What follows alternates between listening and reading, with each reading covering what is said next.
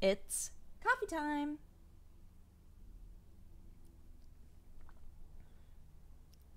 That coffee tastes a little weird. Oh well, whatever. Moving on. So, hey, I was on set all day today. Did not get sunburned. I was very excited because we were filming in Malibu, which is like really hilly, beautiful area of LA and very sunny. It gets very warm up there. So, I was fully expecting to have yet another burn. But fortunately, I had so much clothing on that I was just dying from dehydration instead. Just kidding. We totally had water bottles, but all of us were complaining. We were like, it's so hot. We're wearing like three layers. It's so hot. Oh my God. And I wasn't even wearing a cloak.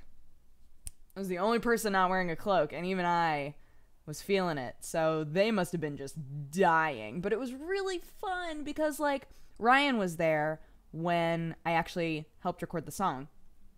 But I haven't seen any of the other Warp Zone dudes in so long that it was just, it was great. It was like, hey, friends, let's all make dumb jokes and talk about stuff and catch up. And it was great. We all had a really good time. And uh, it did not go nearly as late as I thought it was going to go. I thought that I was going to be until way late. But it, it really, it kept on track. It kept on track really well despite all of the dumb jokes. So, A plus. Good job, team. But oh man, I have to tell you a story. I don't think that it ruins anything. No, it doesn't. I won't be spoiling anything about the video or what the video is or anything like that. Uh, I did take a little bit of behind the scenes footage, but I can't put that up until the actual video is up, so I'm holding on to that. But here is my story. so, my costume was there. Uh, The only thing that I had to bring was boots. So I bring boots. Boots. I bring boots in order to fill out my costume. And uh, I'm putting everything on, and I was like, wow, these pants are tight. These are some tight pants. And she was like, oh, really? And I was like, I mean, it's fine. They're just, they're really tight. And she goes, okay, well, you know, let me, let me know if, if there's a problem. I was like, all right. Thinking in my head, these are gonna rip. These are absolutely gonna rip. Like, I can tell. And I joked about it. But, you know, just went on with my day. I was the first person who was ready in full dress, so they were like, all right, we'll start with you. You'll be our the first person that we work with. And I was like, all right, cool. So I go up on this grassy hill with the sun beaming down upon my face, doing my thing, which I can't tell you what it was, but doing my thing. And at a certain point, I'm told, okay, we're going to do the exact same thing, but this time you're going to walk. And I said, okay, I can do that. So did the exact same thing, but but walked while I was doing it. And then there was one time where I was dancing a little bit. And they said, all right, do that again, but like dance some more. And I said, okay. So I'm doing the same thing. I'm I'm doing the walk, and then once it gets to a certain point of the song, I like bust out dancing. And you guys know me. It was like no holds barred, just like oh yeah. The second that I move my legs, rip like completely the entire crotch, just one clean rip all the way. and I was like, it ripped. I was like. and Schroeder goes, "Oh no, oh, how how bad is it?" And I was like, "Well, it's from waistband to the other side waistband." And he was like, "Oh, it's bad." And Schmidt was like, "Well, I don't. I mean, we might be doing shots where you can't really see." And the costume girl, I can't remember her name. I'm sorry. I'm sorry. The costume girl runs up the hill and she's like, "No, no, no, no, no. Just let me sew it." Okay, I'll I'll try pinning it, but that probably won't work. I'll just sew it, okay? And they were like, "Okay, well we'll we'll work with Brian instead while you're getting your crotch fixed." So, she tries the pin it doesn't work. She sews it up. And then goes, "Okay, can you like move a little bit for me?" So I move a little bit and she's like, "Oh, this is going to rip again. This is this is not going to work." So she sews it again. Like she sews it through like 3 times. It's like, "Okay, I think you're good. I was like, all right, sick. So I'm moving on. We're all we're all doing our stuff.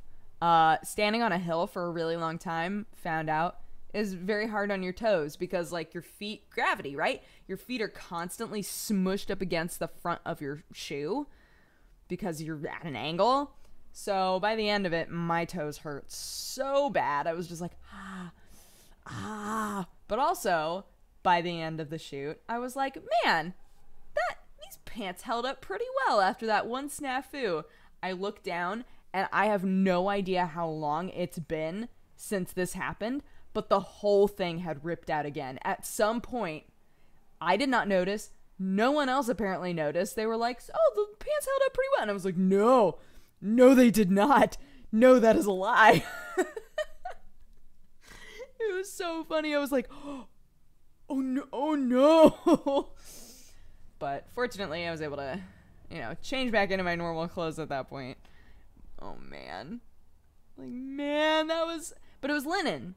For any of you who've worked with linen, you know that it like when there's a rip, it rips really cleanly. So like it was just a one straight line. It was really it was fine.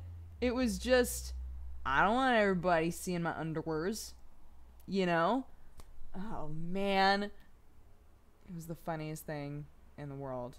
And then poor Brian and Ryan had these huge cloaks on and they were just like ah, ah like dying. Ah. Oh, poor guys. Mm. But man, yeah, I was on set like all day. So aside from that, which I can't talk about aside from the crouch story, I'm pretty sure the crouch story crouch story is safe. It's already happened, so we're gonna just decide that it's safe.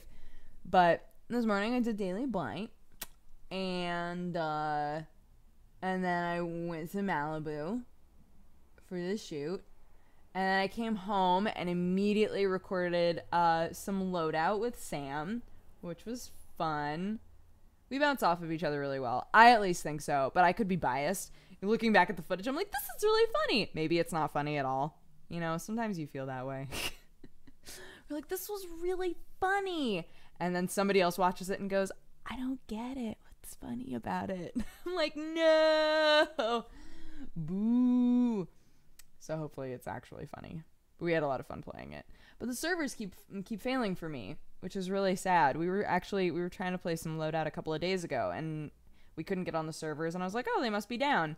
And then tried again today and we got on initially and played for a while, but then they wound up they wound up failing again for me. It's like poop. That sucks. That's, that's poop, man. So, we still we still had a good time playing. I'm in one of those moods where I really want to move everything around. Like looking around at my apartment. I'm that sort of person, you know. I'm looking around my apartment and going, maybe I should move everything around, right? But at the same time, I feel like I can't do that in the living room because the projector's in a specific place. I could do that in the bedroom. Bedroom would be easy, but there really isn't that much in the bedroom. So I don't know that it would like satisfy that itch, that brain itch that I'm having. I don't know. Maybe I need to just go for it. Just like try it, right? And see what happens. See see if my brain is okay with it.